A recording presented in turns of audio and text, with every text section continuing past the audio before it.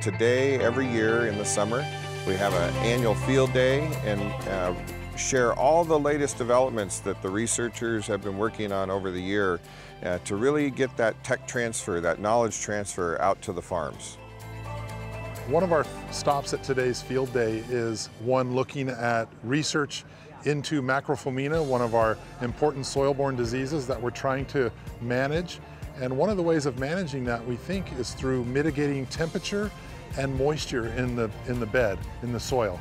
So one way of doing that is we're looking at comparing black plastic versus white plastic and three drip lines versus two drip lines. And what we're showing is when you have adequate moisture and when you have a cooler bed, you get less disease. Another stop is looking at uh, cover cropping as a way of suppressing that same disease, macrophomina root rot.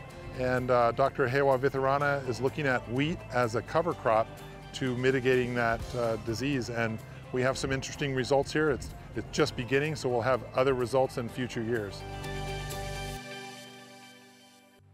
UVC is ultraviolet light in the spectrum that is lethal to uh, insect, arthropod pests, as well as to fungi. And so we're looking at that for powdery mildew, but we're also looking at it for some of the arthropod pests.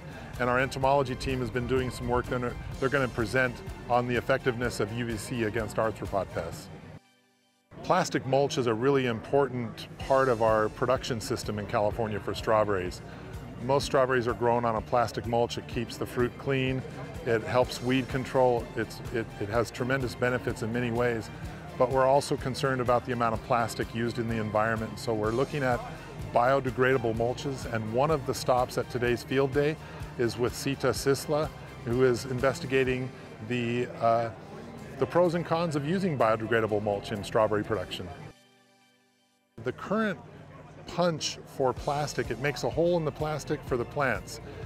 Uh, that hole is too small, most growers feel, and so we want to make a cross hole so that it opens up that hole a little bit, makes for greater water penetration, makes for greater stand establishment, makes for better use of water, so it has many beneficial effects. And one of the things on display here today is the cross hole punch that our automation team has developed. Harvest automation in strawberries has been a topic for at least 10 years. Uh, they've been developing robotic harvesting machines. We have one of those companies here, Advanced Farm, showcasing their technology. It's really interesting to see how far it's come. We're, we're, I think we're not there yet, but we're making tremendous strides in automated harvesting. And so people get a, to see this machine up close, uh, how it works in the field. It's an outstanding, very interesting and innovative technology.